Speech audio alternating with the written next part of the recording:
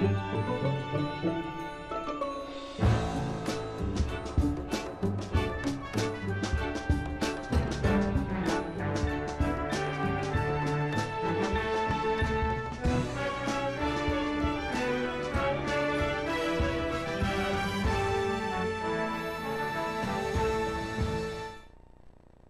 I'm Robert Osborne. On this October Wednesday, I have some Bob's Picks for you, where I pick some films I think are worth a first or second or maybe 14th look, or maybe a movie we haven't shown before, or perhaps something we haven't really shown in prime time for quite a spell.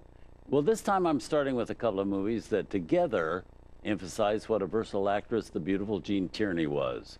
Gene Tierney always celebrated for her beauty and mystique, but never really given enough credit in my mind for her acting chops.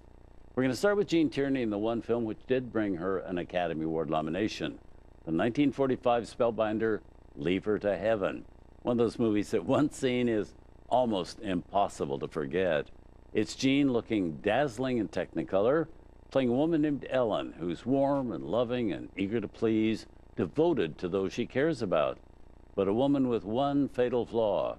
When she loves someone or something, she loves too much, and disaster usually follows. We'll be following that Gene Tierney with a delightful romantic comedy she's in called The Ghost and Mrs. Muir, a film and a performance that's a 180 degree turn from this next film we're about to show. Both these movies well worth watching too, believe me. We begin with the drama in which Gene Tierney becomes maniacally obsessed with handsome Cornel Wilde to the point that she doesn't want anything or anyone to distract him from her.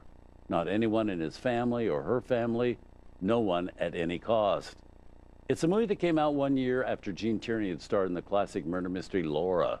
The director in charge this time being John Stahl, and there's also a great music score in this movie by Alfred Newman, and an excellent cast that also includes another beauty, Jeanne Crain, plus Vincent Price, Chill Wills, and a great friend of ours here at TCM, Darryl Hickman, who has a particularly unforgettable moment in the movie as Cornel Wilde's kid brother, somebody Cornel Wilde particularly adores. Watch out. Here's a spellbinder from 1945, Gene Tierney in Leave Her to Heaven.